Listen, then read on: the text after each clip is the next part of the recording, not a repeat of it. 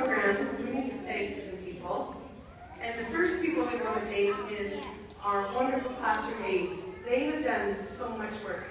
They're like having 10 people in your room when you just have one. And they do an amazing job. So Mrs. Raffleson and Mrs. Whitby.